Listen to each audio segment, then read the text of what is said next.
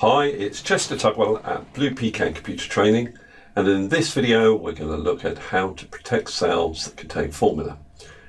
Now the first thing to understand is to understand that all cells are by default locked. If I right click on a cell and go to Format Cells or shortcut key Control 1 that opens up the Format Cells dialog box and you'll see on the Protection tab there's a locked property which is by default locked. Now this locked property only comes into effect when we protect the sheet. So if I go to review, protect the sheet, not bothering with the password there, you'll see that the cell cannot be changed, it is locked.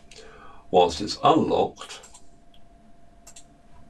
all cells can be changed, edited, even though the locked property is ticked.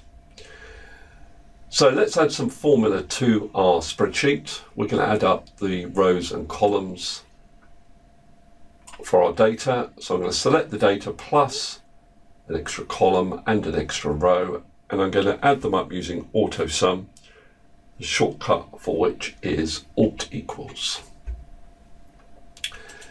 So what I've got to do is unlock all cells and then relock the cells that contain formula. So up here, I'm going to select all cells.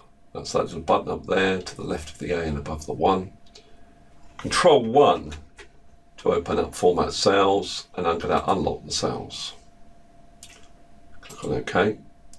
Then I'm going to show you a trick to select cells that contain formula. Control G click on Special, select Formula, click on OK. That selects the cells that contain formula. Control 1 again to open up Format Cells and lock those cells. Click on OK. Then I need to protect the sheet, so Review, Protect Sheet, and if you like, can put in a password. Click on OK so now, if I try and edit the cells that contain formulas, I get this dialog box that tells me I can't. But if I go into a cell that is unlocked, I can still change it and the formulas automatically update. Okay, that's all there is to it. Thank you very much for listening. It's been Chester Tugwell at Blue Pecan Computer Training.